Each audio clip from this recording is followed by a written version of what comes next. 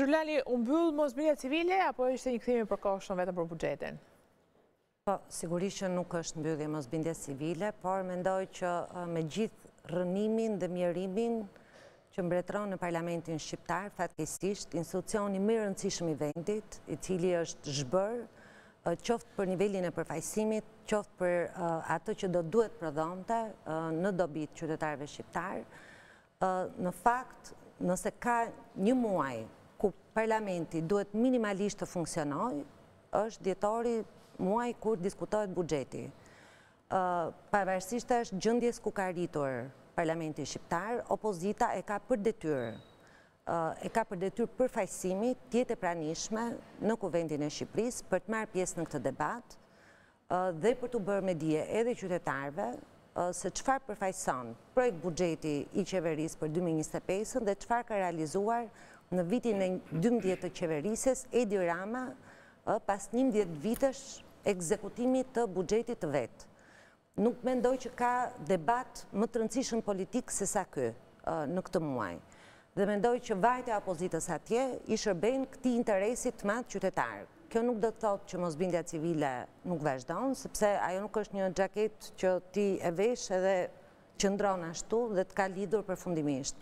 Aksioni i opozitës është i shpërndarë në disa drejtime, por kësaj përgjegjësie dhe këtij aksioni nuk i shpëton detyrimi për të mbrojtur interesin e qytetarëve në fund ditës.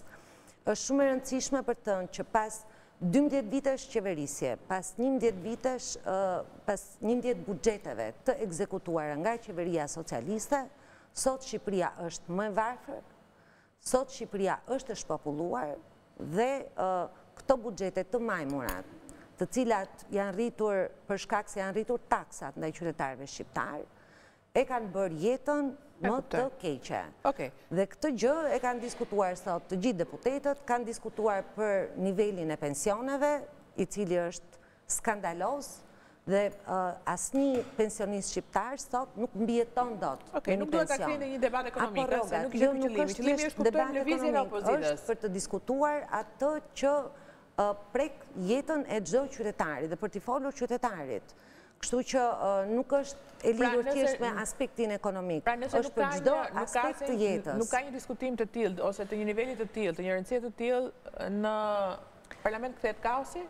Për të jo. kuptuar, pra kaosi ose pamundësia për të... Nuk është çështje kaosi, synimi i opozitës nuk është për të krijuar kaos në parlament. Për pamundësuar... Kaosin në parlament e ka krijuar Edi Rama, që me emrimin e deputetëve që i zbuluat dhe ju disa të komunikime të reja sot se si janë emëruar deputetët e Parlamentit shqiptar, se kush i emëron, që i ka emëruar krimi organizuar, që me shkeljen e Kushtetutës, grisjen e vendimeve të Gjykatës Kushtetuese, mos respektimin e drejtave të opozitës në Parlament, për këto opozita ka ngritur zërin dhe këto kanë krijuar produkte konkrete. Opozita u njoh në Parlament se nuk njihej Enio. Për muaj të tërë, opozitës nuk i njihej e drejta e të përfaqësuarit në Parlament. Nuk i njihej e drejta kushtetuese për të ngritur komisione hetimore. Dhe aksionet e opozitës kanë prodhuar rezultate konkrete. Sot ju e keni opozitën të cilën më në fund e njeh kryetarja e Parlamentit dhe e njeh mazhoranca.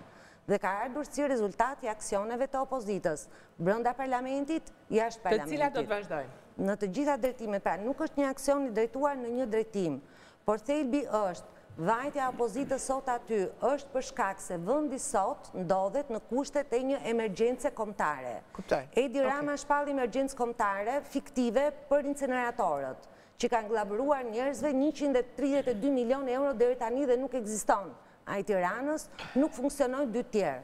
Ndërkohë që, gjysma e popullsisë sot është në varfëri ekstreme. Pra, nuk përballojnë dot kushtet minimale të jetesës, janë të deprivuar nga të mirat minimale materiale dhe sociale. Dhe në këto kushte, Edi Rama ka paraqitur një projekt buxhet që përsëri nuk i flet gjysmës të paktën gjysmës së popullsisë dhe jo vetëm. Po po flasim për minimumin e minimumeve dhe në këto kushte të kësaj emergjence kombëtare, opozita ka për detyrë të jetë aty, të paraqisë alternativën e saj dhe qytetarët ta dëgjojnë se me kë kanë të bëjnë fund ditës. Dhe ti si e pe